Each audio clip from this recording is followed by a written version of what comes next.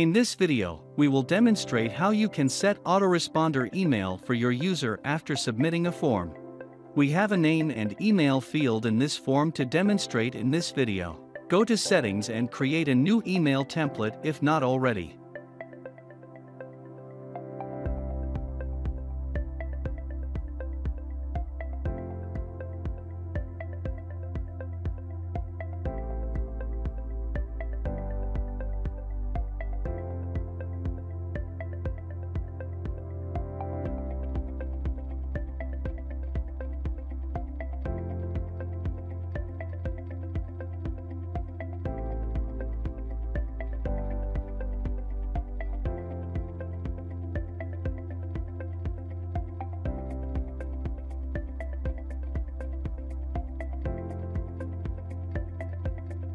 Now go to Conditional Logics and set it as the form sends the email to users after submit.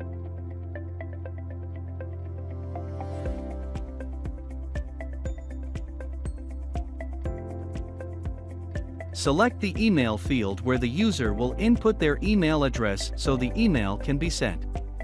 You can also set the CC, BCC emails,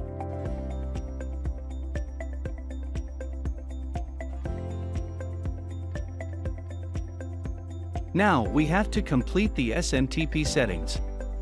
For that go to App Setting and SMTP, then set the settings as per your account preference. Now we will submit a form to see if everything works as per settings.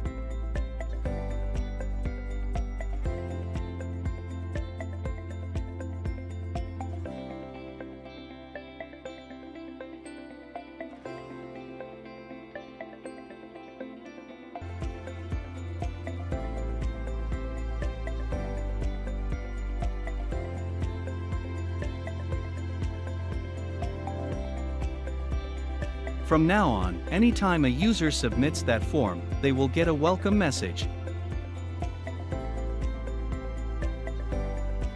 Thanks for watching.